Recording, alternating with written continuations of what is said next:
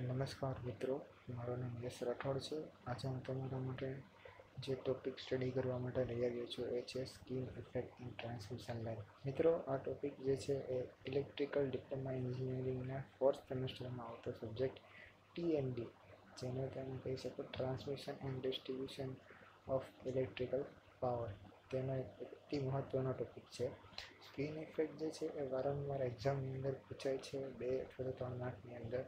Question હોય જ છે મિત્રો.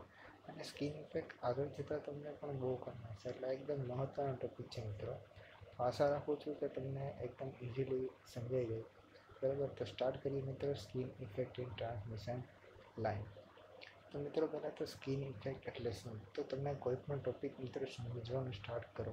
કે એનો જે મેઇન વર્ડ છે એને આપણે પહેલાં સમજવો પડે.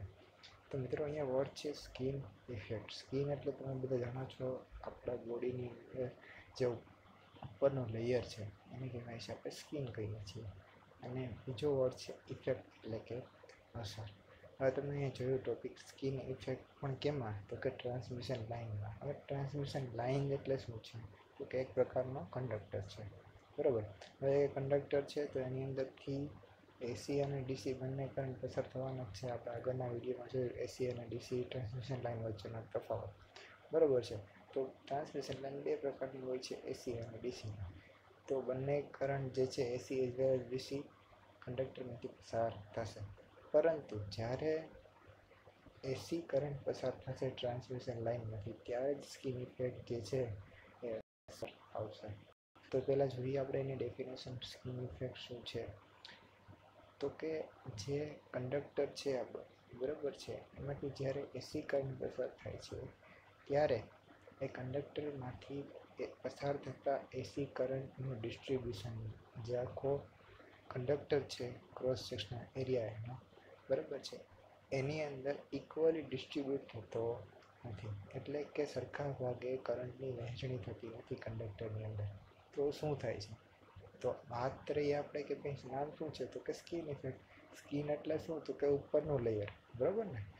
તો આ ઇફેક્ટની અંદર જ્યારે એસી કરંટ જે છે કંડક્ટરમાંથી પસાર થાય છે, ત્યારે કરંટની વહેંચણી સરખા ભાગે નથી થતી, તો શું થાય છે? તો કે ભાઈ ઉપરના ભાગમાં, એટલે કંડક્ટરનો જે બહારનો સરફેસ છે આઉટર સરફેસ છે, બરાબર? ત્યાં કરંટની વેલ્યુ વધી જાય છે અને અંદરના ભાગમાં કરંટ જે છે એ ઓછું હોય છે.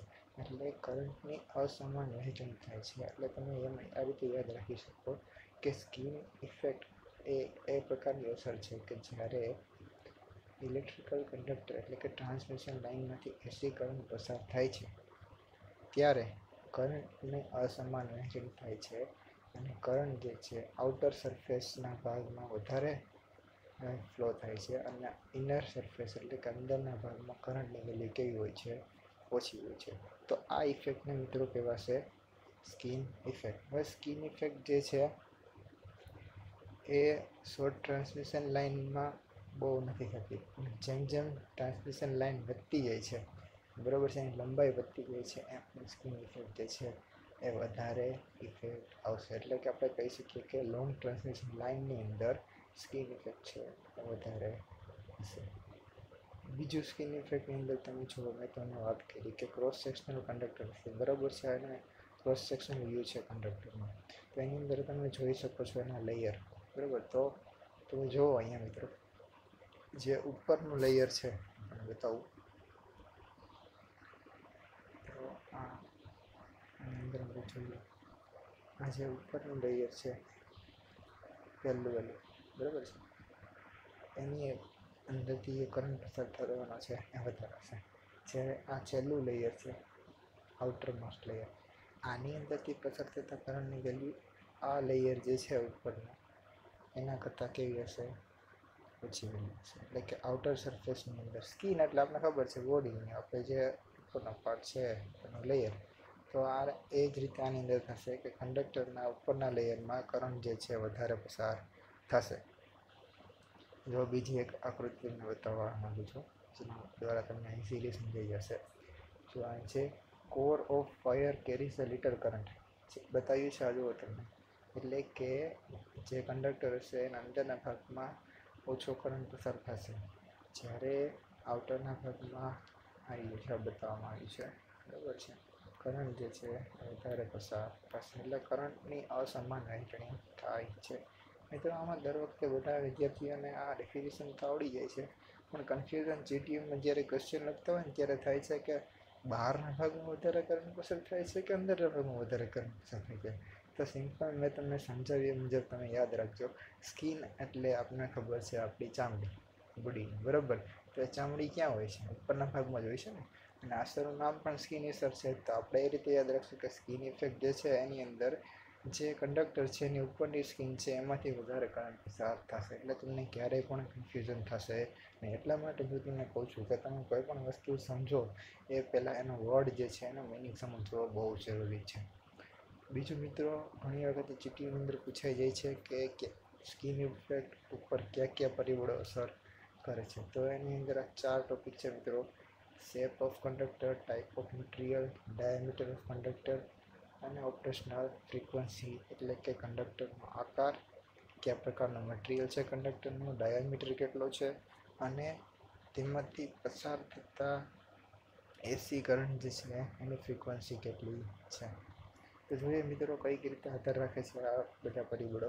તો પહેલું છે ફ્રીક્વન્સી. મિત્રો તમને શોર્ટ ટર્મ સ્વીટમાં કહી દઉં તો આ દરેક પરિબળો જે છે એની વેલ્યુ વધશે એટલે સ્કીન ઇફેક્ટ વધશે તમે જોઈ શકો છો હું લખેલું છે કે ફ્રીક્વન્સી જે છે એ વધશે તો સ્કીન ઇફેક્ટ પછી તો કે ડાયામીટર જેમ વધારે કંડક્ટરમાં તેમ સ્કીન ઇફેક્ટ વધારે ફોર એક્ઝામ્પલ બે કંડક્ટર છે એકનો પાંચ એમએમ ડાયામીટર છે બીજાનો ત્રણ એમએમ ડાયામીટર છે તો ત્રણ એમએમ ડાયામીટરવાળા કંડક્ટરમાં સ્કીન અસર પાંચ એમએમ વાળા ડાયામીટરવાળા કંડક્ટર કરતાં કેવી હશે ઓછી હશે બરાબર પછી શેપ ઓફ કંડક્ટર કયા પ્રકારનો શેપ છે બરાબર છે સ્ટેન્ડર્ડ છે કે સોલિડ છે, તો એ બંનેની અંદર એની અંદર ડિફરન્સ આવશે.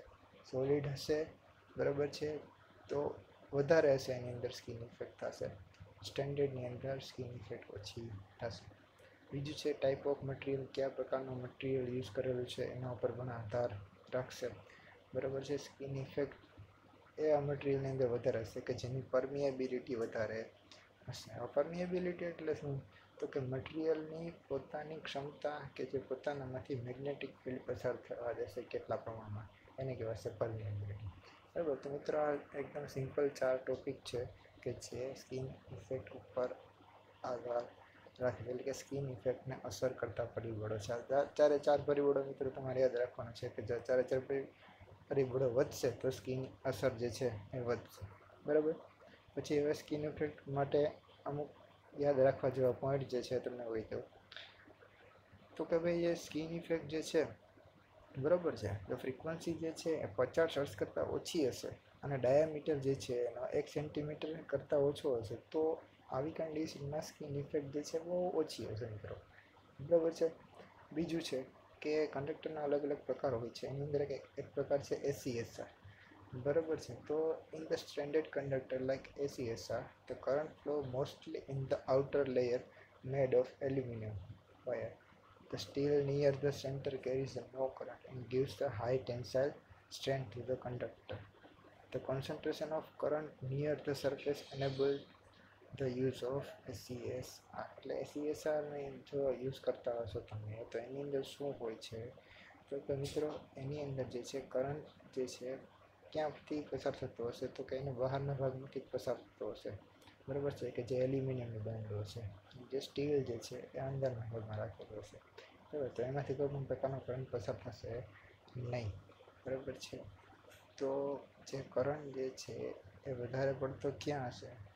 તો કે બહારના ભાગમાં છે તો બહારના ભાગમાં હોવાને કારણે સ્કિન ઇફેક્ટ જે છે બહુ અસર થશે નહીં. હવે તમારા પોઈન્ટ જે છે યાદ રાખવા જેવા પણ તમને જે આઈએમપી ટોપિક જે છે સ્કિન ઇફેક્ટ શું છે તમને ખબર હોવી જોઈએ? એટલે તમને કીધું છે, બરાબર? બીજું કે સ્કિન ઇફેક્ટ ઉપર અસર કરતા પરિબળ. અને મેં તમને યાદ રાખવાનું કીધું છે કે સ્કિન ઇફેક્ટ જે છે, એ હંમેશા એના દ્વારા ટ્રાન્સલેશન લાઇન છે, એના બહારના ભાગમાંથી કરંટ વધારે પસાર થશે અને અંદરના ભાગમાંથી કરંટ જે છે, એ ઓછો પસાર થશે. તો આ રીતે આપણે યાદ રાખવું પડશે. બરાબર છે મિત્રો. Thank you for watching this thank you very much